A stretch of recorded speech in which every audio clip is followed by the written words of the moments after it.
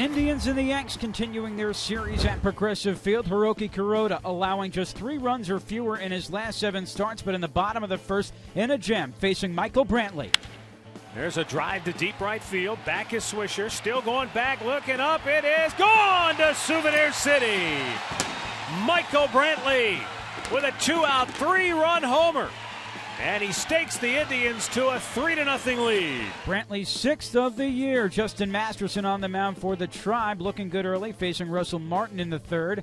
Unable to get him swinging. And then Raul Ibanez facing Masterson goes down swinging as well. And in the fourth, Mark Teixeira with a man in scoring position, caught looking, and Teixeira arguing with home plate umpire Adrian Johnson, saying that pitch was low, but to no avail as we go to the sixth. Masterson in a jam, bases loaded, nobody out. Teixeira at the plate.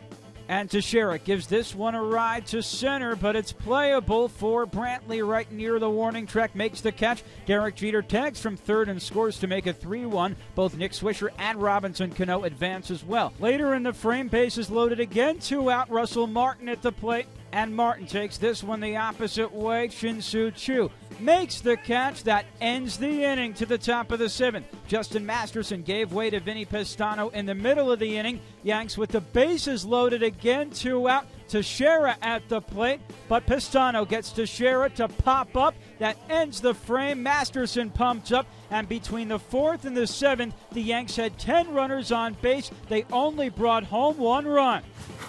In the top of the ninth, Chris Perez looking to close things out. All eyes on Perez and Jeter. The 2 2. Swing and a miss. He struck him out to end the game.